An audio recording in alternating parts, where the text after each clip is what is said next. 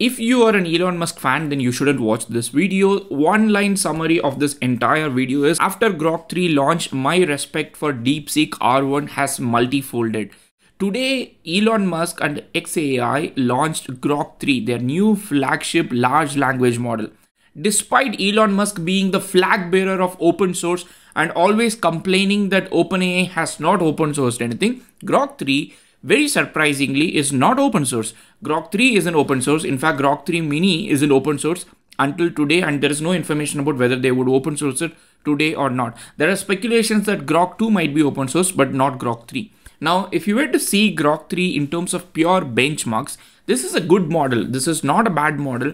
And in fact, this is one of the best functioning state of the art model at this particular point. In terms of benchmarks, Grok 3 is a really good model. The model scores really on the top line of the benchmark. You can see multiple benchmarks, independent benchmarks, math, AIME, GPQA, coding, all these tasks, Grok 3 scores much higher than the existing competition. The only problem with these kind of comparison is you never know which version of GPT-4o they compared. For example, ChatGPT released an update couple of days back and maybe this update is not included in this. Despite all these things, you can see Grok 3, the non-reasoning model scoring really good. This is ideally supposed to be a really good model you can see that across all the benchmarks that the company itself has shared you can see Grok 3 is just right next to O3, above O1, above DeepSeek R1, and the non-thinking model, non-reasoning model, Grok 3 is the best non-reasoning model.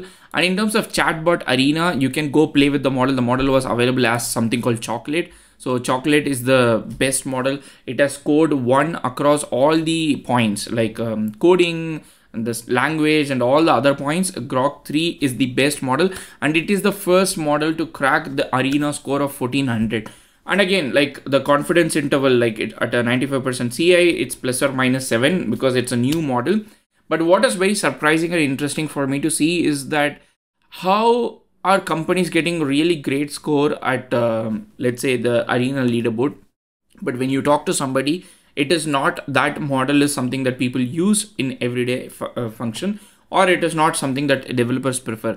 I think we have to wait and see for a Grok 3 API to be available, which I think will be available in a couple of few weeks. Honestly, like for me, like Grok 3 is another LLM. That's it. I'm, I'm just going to treat it as it is. It is not making anything special. It's not my chat GPT moment of AI. It's not my DeepSeek moment of open source reasoning models.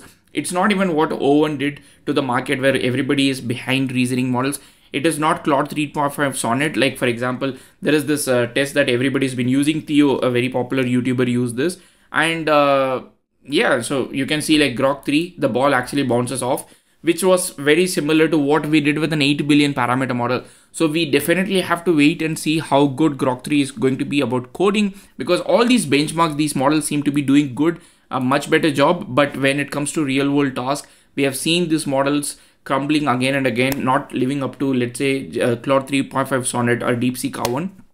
So let's wait and see. And in terms of the Grok 3 vibe test, people have already started comparing. Like for example, Andrej Karpathy, who has been ex-Tesla AI director, got early access to Grok 3 and then he has mentioned in his vibe check the Grok 3 is a really good model. There are a lot of things that Grok 3 does. There are some mundane questions Grok 3 doesn't do a very good job. For example, there are only three L's in Lollapalooza, but there are four L's in this particular thing because LLMs use the word that is from their memory rather than what you gave in context and then gives this answer. But all these problems like 9.11 greater than 9.9 all these problems get solved once you turn on thinking that is the thinking model that grok 3 comes with. So there are four different models available. One is a grok 3 the second one is grok 3 mini and then the third one is the grok 3 reasoning beta and the fourth one is grok 3 mini reasoning. So if you see all these models you would see grok 3 does a pretty good job only because a XAI team in this particular case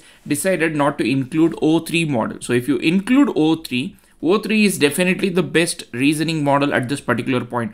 The red one, the Twitter user Rex managed to add this for us. So if you see the reasoning plus test time compute model, O3 is really the best model, best functioning model at this particular point. And um, if you leave O3 out, then Grok 3 reasoning beta Grok 3 reasoning mini are good models better than O1 or some cases like on par with O1 but definitely better than DeepSeek R1 in this particular case and much much much better than Gemini 2 flash thinking. Now you would see that this is a great model. Like why did I say that this video is not for Elon Musk fans? The reason I said this one, of course, obviously, that Grok 3 is a really great innovation. The model is good. The team is not very old. The research lab is not like OpenAI been functioning for like over uh, many years. It's like two years old, three years old. But the biggest problem is Elon Musk doesn't seem to stand for whatever he says. He has a problem with AI advancing and then destroying humanity. No, uh, now you know he doesn't do anything about it. Like he, he releases another large language model. The next thing is if you have seen the live stream of xai the it, the, the background says that our mission is to understand the universe. I mean what part of grok 3 is to understand universe? The same complaint uh, whether you are advancing humanity you're cracking agi whatever that you want to say as a silicon valley founder Elon Musk once again like what what what is Grok 3 trying to make understanding universe? It is not like what Google DeepMind is doing with respect to AlphaFold the alpha geometry whatever the model that they're doing to unlock different aspects of biology understanding physics chemistry. This is just another large language model. Everybody is making a large language model.